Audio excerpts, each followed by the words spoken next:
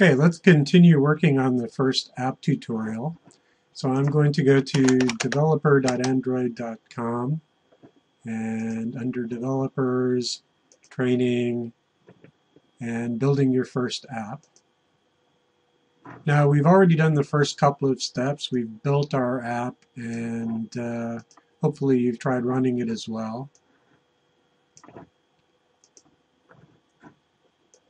So we're going to go ahead and build a simple user interface in this tutorial. And uh, once again, I'm going to follow along pretty closely with the tutorial, but there are a few gotchas along the way because of differences in the current version of Android Studio. So I'll try to point those out as we go. So there's some introductory text that explains the user interface model. Basically, there are views, which are um, user interface elements like buttons and text boxes and radio buttons and so on. And then there are view groups that lay out these views. So for example, if you have individual radio buttons, you might have a radio button group that organizes them, or you might have user interface elements like a text box that are laid out in a particular order. And the view group would be the layout. The elements would be either text box, button, maybe a radio group that had radio buttons in it, and so on. So it's a sort of hierarchical tree structure that creates your ultimate user interface. And we're going to start with the first app that we've created in the previous tutorial. And uh, the first thing it wants us to do is to edit our activity under my.xml. Now here's one of the differences. In our application, it's actually called activity under main.xml. So I'm going to double click on that to open it. And the tutorial is assuming that you're going to start with this text view here. And uh, you might see it, it might look like this with the uh, preview showing. So if the preview is showing, it tells you to close the preview, which you can do by clicking on that button. And if you want to get it back later on, it's easy. Go to Tools window, Tool Windows, and go to Preview, and there it is. So it's easy to recover from. So we're going to go ahead and uh, delete the text view element, which is the part that says Hello Mark. And then we're going to change this relative layout to a linear layout. And you can use tab for command completion. Now the way XML works is if you have a tag that starts here and ends here, these two tags have to match. So linear layout starts the tag and then slash linear layout should end the tag. So I'm just going to change this to linear. And now I have correctly formatted XML. So there's going to be, this whole thing is one tag, and these are known as attributes. So we're mainly going to be creating tags and editing attributes. And then tags can either be scoped, like here, where you have an opening tag and a closing tag, or you can have single tags that end in slash close angle bracket. And we'll see both kinds in this tutorial. So I've changed the relative layout to a linear layout. It wants me to add an Android orientation and set it to horizontal. So I'm going to reformat this a little bit just to make my life easier. I'm going to put each of these on a separate line. White space is not significant in XML. And I'm going to add an Android colon orientation. And I'm going to set it to horizontal. Now I'm going to remove the padding attributes and the tools context attribute. So I'm just going to delete these four padding lines and also delete this tools context. And uh, so here's the result. Let's see if it matches more or less. Actually, it looks pretty good.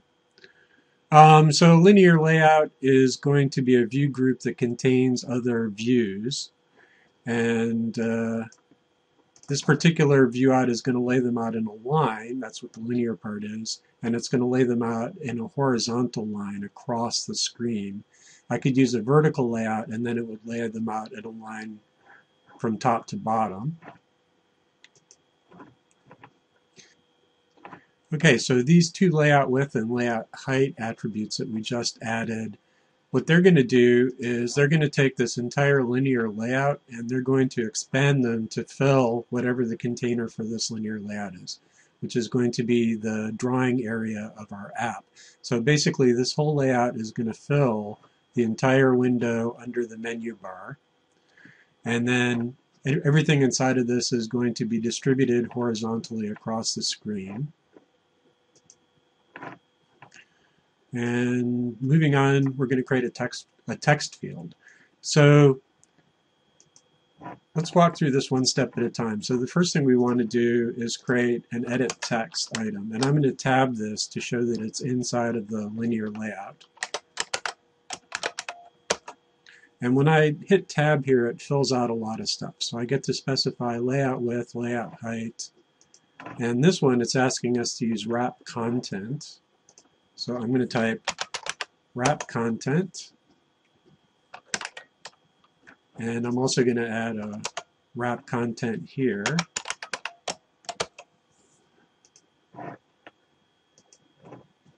And then it's asking for an attribute, an ID attribute, which is set to this. So let's go ahead and add that. So at sign plus, and then this is an ID slash edit under text. And I'll tell you what this does in a second, make sure I got it right. Edit message, I'm sorry.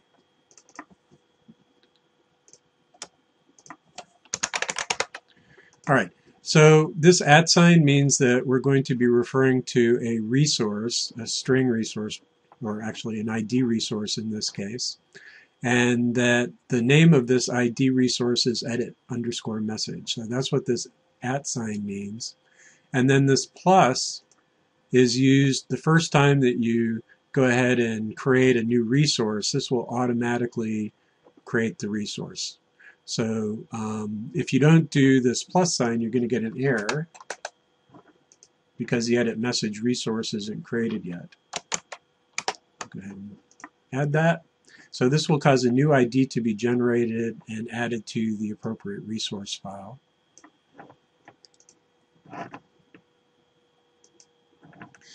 And we've added the layout width and layout height already, and we're going to add a hint attribute as a string object named edit message. So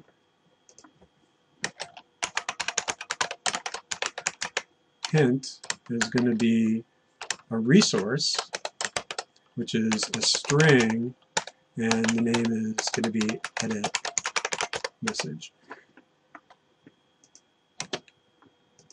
And now you'll notice that I'm getting this highlighted here. That's because I didn't put a plus. Um, and I'm going to have to add that to the strings XML, but that's going to be in the next step, so don't worry about the fact that this is highlighted yet. Now you'll notice also that I have an ID named edit message and I also have a string named edit message. Um, these are two separate things because this is under IDs and this is under strings. So even though they have the same name, it doesn't cause a conflict. Now, I personally don't consider this to be very good coding coding style because uh, um, it's nice to be able to look at the name of something and know what it corresponds to. And if you're just looking at edit message, well, you don't really know what it's referring to. But following along with the tutorial, so let's see if we have what, uh, so ID, edit message, dot content, and edit message. So it looks good so far. And uh, here's the explanation of what's going on. So we're going to add the string resources uh, for our edit message. So I'm going to pop open strings.xml and I'm just going to type the same thing you see for these other ones, string name equal edit under message.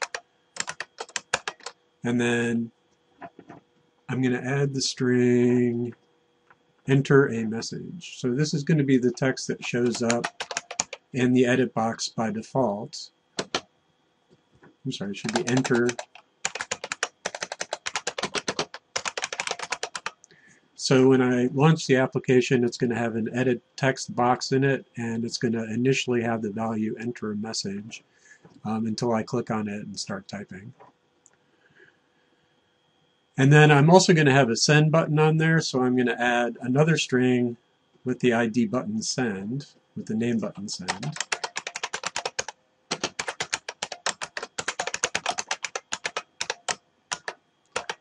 And this is just going to say send in it.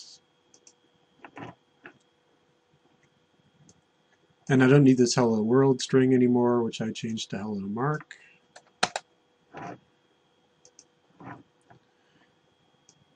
Now, um, this one looks a little different from ours because um, this one has a title activity main predefined. That's another difference in Android Studio. Let me explain that. So if I go to the application, I'm sorry, the Android manifest, you'll see that it has some string resources in it as well. So this little green thing, if I hover over it or click on it, it shows me the actual value.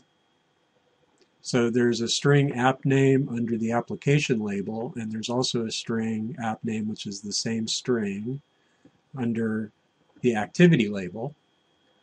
And in the current version of Android Studio, the default is to have both of these things be the same. In an earlier version, the default was to have a separate app name versus title activity main.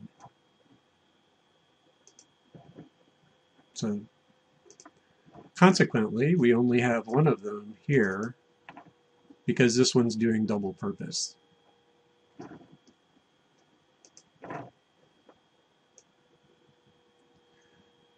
So now we've added our strings, we're going to go ahead and add a button to our layout. So I'm going to go back to our activity main and add a button. And once again, it's going to give me a bunch of stuff to fill in. So I'm going to wrap content here as well. And wrap content here. Now I don't need to give this one an ID because I'm not going to refer to it inside the program. Basically this ID here is how I'm going to be able to refer to this user interface element inside of my code. And I'm not actually going to refer to this button anywhere. I need to refer to the text box because I want to get the value of whatever the user typed into the text box. But I'm not going to need to refer to the button because when the user clicks on the button, that's going to cause some code to get run directly. So I don't need to specify an ID here. I could specify, specify an ID if I wanted, but I don't need one. So I've done the wrap context. Now the text is going to be whatever text is going to show up in the box. And I want to set its value to the button send string that I created in strings.xml. So Android colon text is equal to the resource button send. So now my button is going to have the label send on it. And let's take a look. So everything looks good. The order of these attributes doesn't matter.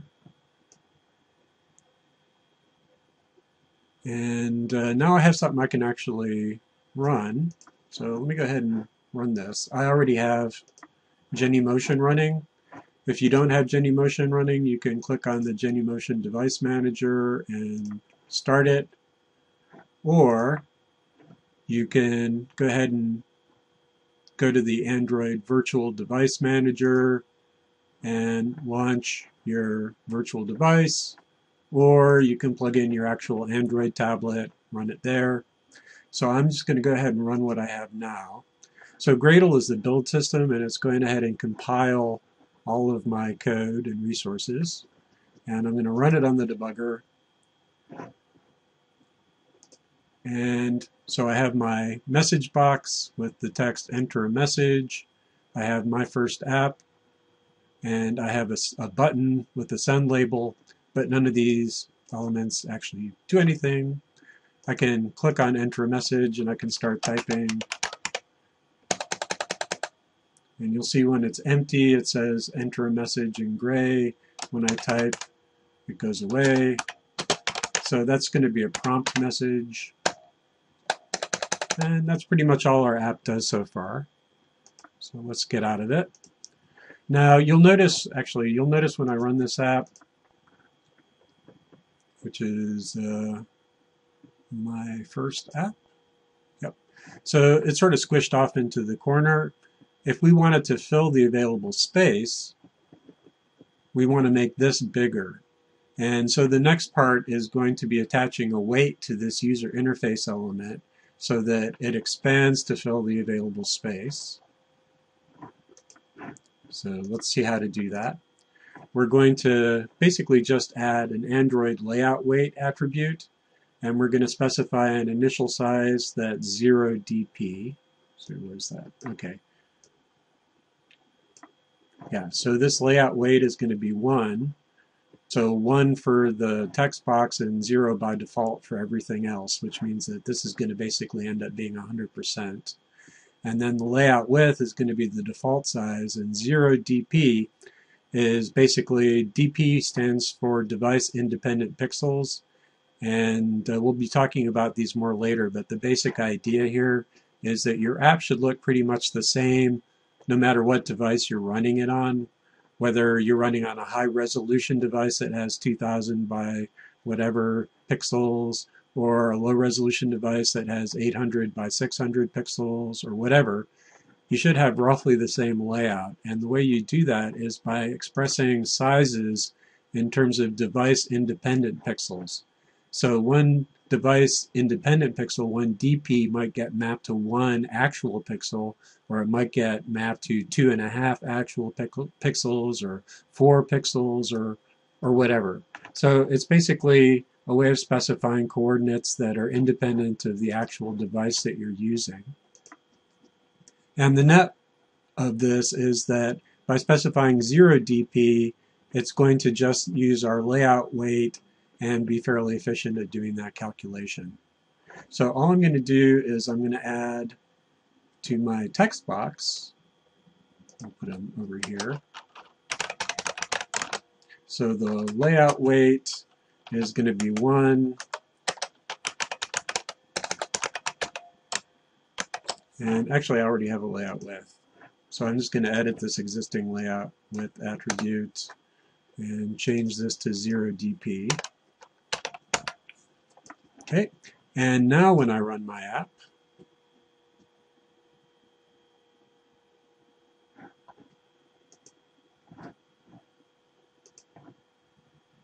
So now you see this is expanded to fill the entire width except for the space that's required for this button.